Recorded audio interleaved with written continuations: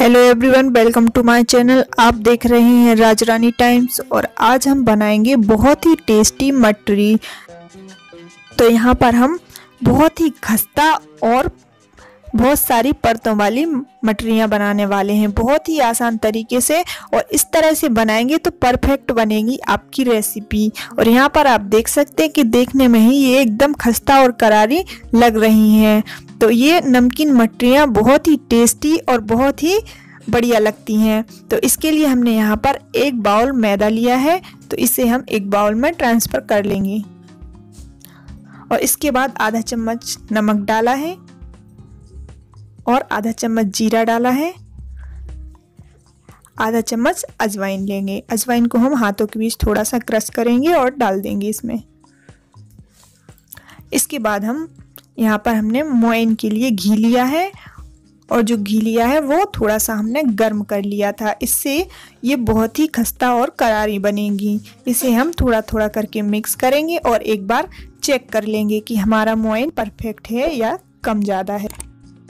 इसे हम हाथों से अच्छे से मिक्स करते हुए तैयार करेंगे और इसमें आप चाहें तो घी की जगह ऑयल का भी मोइन दे सकते हैं। तो एक से दो चम्मच हम मोइन और डाल देंगे।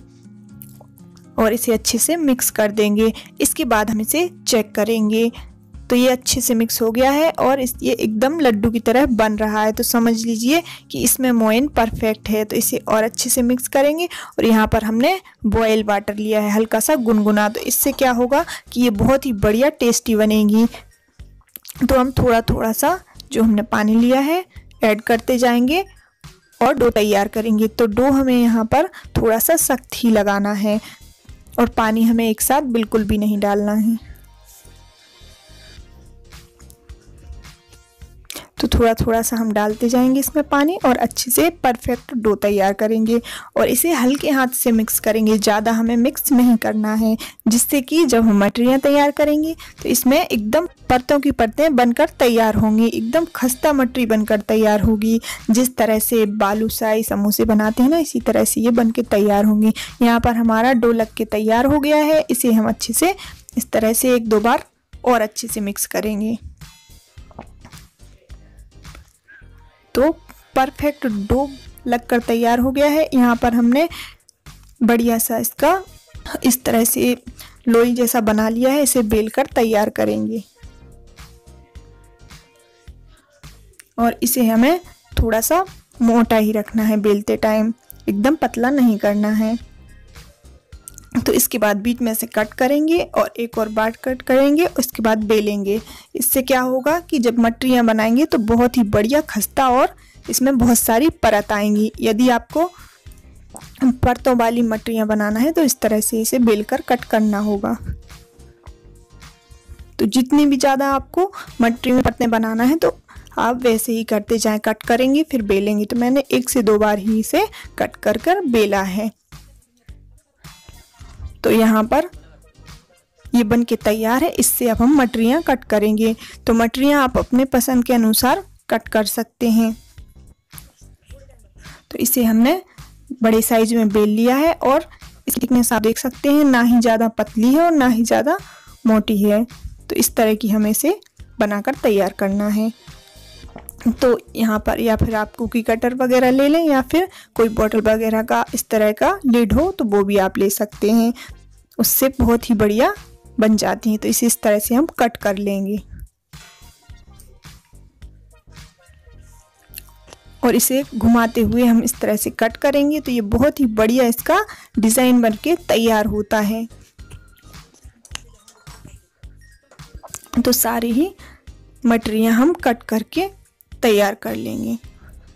और जो लास्ट में डो बच जाता है बनाने के बाद, और जो नहीं कटी है, उनको हम थोड़ा सा डबल से प्रेस करेंगे इस तरह से तो फिर वो बढ़िया से निकल आएँगी। तो यहाँ पर सारी ही मटरियाँ बन के तैयार हो गई हैं, और जो एक्स्ट्रा कट करने के बाद बच गया तो इसे भी हम फिर से पेल कर तैयार करेंगे, और इससे भी मटरियाँ बनाकर तैयार कर लेंगे। तो बहुत ही बढ़िया देखने में लग रही हैं।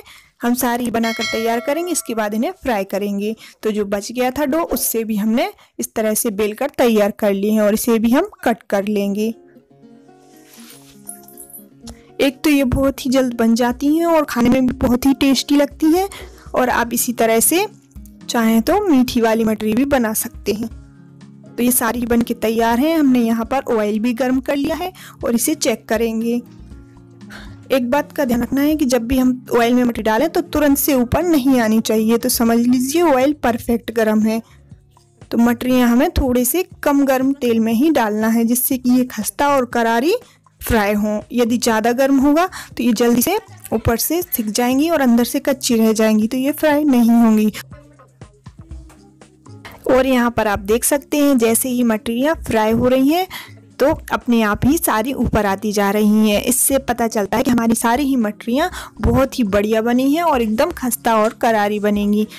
तो सारी ही मटरियाँ ऊपर आ गई हैं और गैस को हम थोड़ा सा मीडियम ही रखेंगे और इसके बाद हम थोड़ी सी इन्हें इस तरह से पलट पलट कर फ्राई करेंगे। और बीच बीच में हम इन्हें चलाते रहेंगे।